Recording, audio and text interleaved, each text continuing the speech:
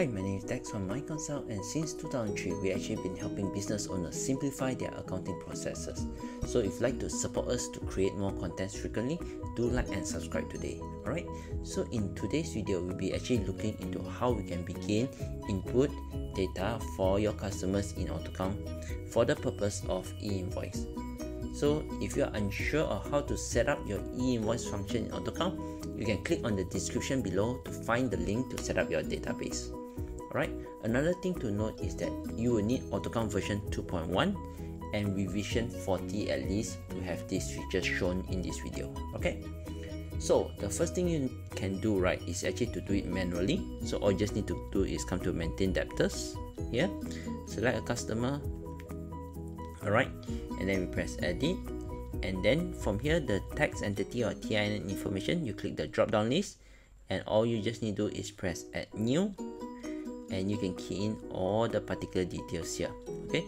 So once you key in all the details of course these details you need to send to your customer via message or via email and then they need to come back to you and then you need to key that information in here right so um, for us we actually do not recommend this because there's always a risk of human errors. Example like they accidentally key in the wrong TIN number or wrong business registration number.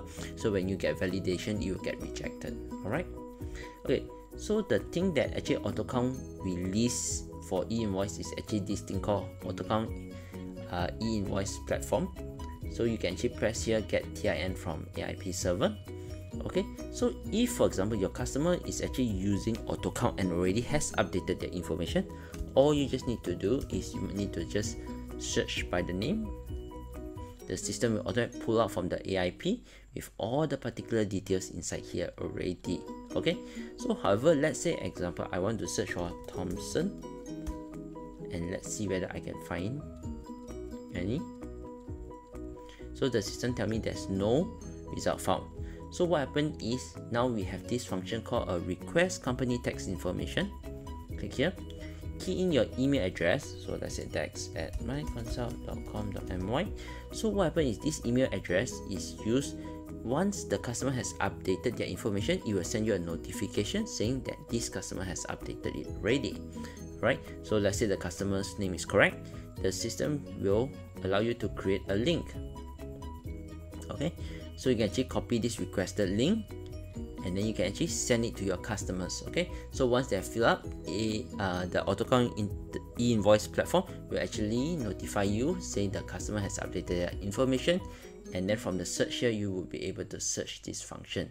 The advantage of this AIP is it will provide uh, not only just you but because you have already updated uh, the customer has already updated their information any other AutoCount users will be able to search for the tax information via this AIP and they do not need to request this information from the customer again. Alright, so this is actually how easy it is to set up the e-invoice module for your customers inside AutoCount. We hope you actually find this guide helpful and if you have any other questions, do leave in the comment below. Thanks!